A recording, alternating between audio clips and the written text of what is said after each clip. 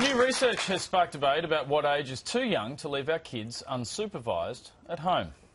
Where's the balance in saying, well, you can walk to school by yourself, but you can't stay at home for 10 minutes while I duck out and get sugar, for example? Madonna King is a busy working mum. She reckons her seven and nine year old are nearly old enough to stay at home alone while she's off running errands. It is one topic my husband and I don't see eye to eye on.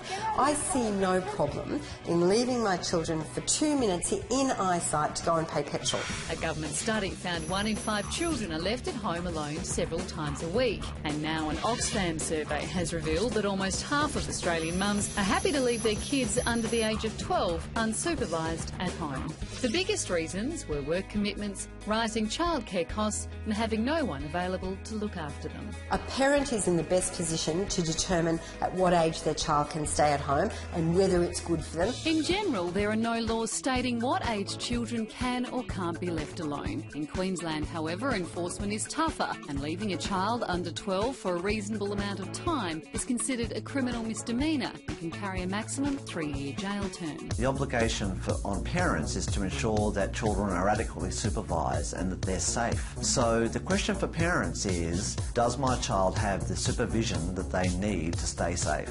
So when is it safe to leave kids at home alone?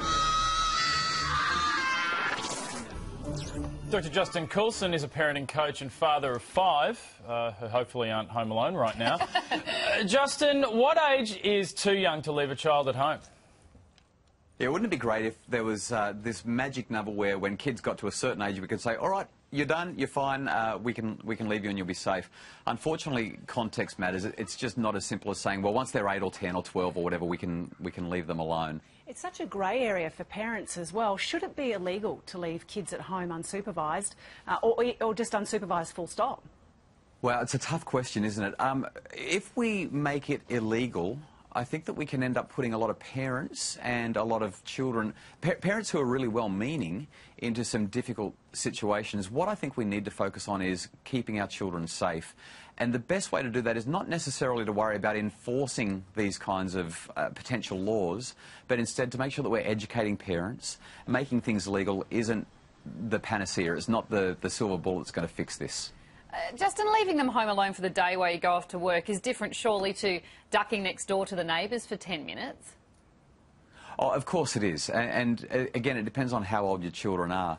But again, I'd be careful about leaving the kids at home to duck off to the neighbours for 10 minutes as well. Uh, very often we'll pop out to the neighbours for what's meant to be two minutes or five minutes or 10 minutes, and an hour later we're still on the driveway chatting. You if know we've me got very really well, young Justin. kids, happens to me all the time. I get in so much trouble. Uh, but if we've got really young kids, we might think that it's okay to disappear for two minutes. Uh, they might not be okay. If we maybe it's winter time we've got a fireplace. Maybe it's summer and, and the, the pool gate hasn't been closed properly. Maybe they're cooking in the kitchen and something goes wrong. Leaving them alone at home is potentially dangerous. Now, I don't, you know, we don't need to wrap them in cotton wool, and they should be able to learn to become independent. But we need to do it the right way. We need to do it step by step and consider the overall context. All right, Justin, I've got another one for you. You go to visit your neighbour for half an hour, say. What's the difference between that and letting your kid walk home alone from school? Oh, yeah, that is a tough one.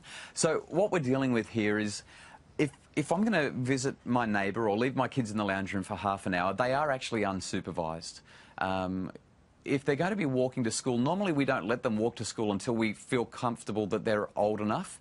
Uh, we make sure that usually there's other kids walking with them or maybe even other parents. Schools have safeguards in place as well to let you know if there has been a problem or if the child hasn't shown up or has shown up with, with difficulties.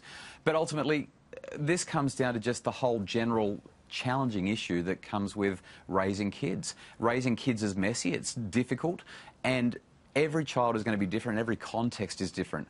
I just don't see how we can put a blanket rule out there and say when kids are eight, they're okay, but before eight, they're not, or when they're 10 or 12 or whatever it is. It's just too hard. Justin, thank you very much for your time tonight. Terrific, thank you.